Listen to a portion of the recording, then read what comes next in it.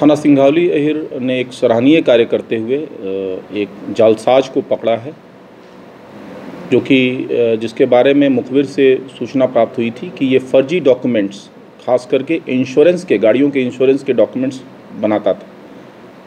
जब इसकी पड़ताल की गई तो ये पूरी बात सही पाई गई और इस अभियुक्त, जिसका नाम भवेंद्र पाठक है, जो मूलतः बिहार का निवासी है और वर्तमान में यहाँ रह रहा था इसको गिरफ़्तार किया और इसके पास से कंप्यूटर, प्रिंटर और अन्य सवर्ती उपकरण इसके पास से बरामद हुए। फर्जी बना हुआ इंश्योरेंस भी इसके से बरामद हुआ है। जब इससे पूछताछ की गई और इसकी प्रीवियस हिस्ट्री जानने का प्रयास किया गया तो यह पता चला कि ये सहारनपुर में भी पकड़ा गया था, जिसमें ये पुलिस भर्ती परीक्षा में सॉल्वर्स को बैठाने के लिए उनके आधार कार्ड को टैंपर करके उस पर दूसरे का फ़ोटो लगाने का काम किया था और उसमें ये जेल गया था। इसके अलावा ये गाज़ियाबाद से भी ये जेल जा चुका है, जिसमें आरपीएफ ने इसके विरुद्ध कार्रवाई की थी।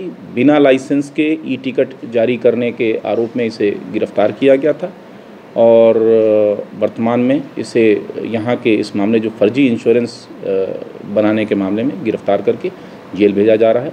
इसमें आगे इसके अन्य ज़िलों में इसने कोई इस तरह के अपराध किए हैं कि नहीं उसका भी हम पता लगा रहे हैं। की थी इंश्योरेंस के नाम पे या सोलविंग के नाम पे?